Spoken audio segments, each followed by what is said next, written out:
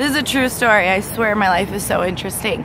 I decided to go to Panera today and I was kind of debating whether I should go to Dunkin' Donuts or Panera, but I feel like God just puts me in the right spot at the right time. As I parked my car, I was walking in and there was a woman that was saying, excuse me, excuse me, and she was in a wheelchair across the street, um, like in one of the parking lots. I'm obviously walking through the parking lot now. Anyways, she was saying, excuse me, excuse me, um, can somebody, like, excuse me, excuse me. And so I thought she was calling the man in front of me. Um, but then I just like ran into her and I was like, ma'am, do you need something? What do you need? She was like, can you please just help roll me over there? It's uphill. And um, it's uphill. And I'd really like some help. I was like, of course. So I started rolling her up there. God, I'm so bad with names. She told me her name though.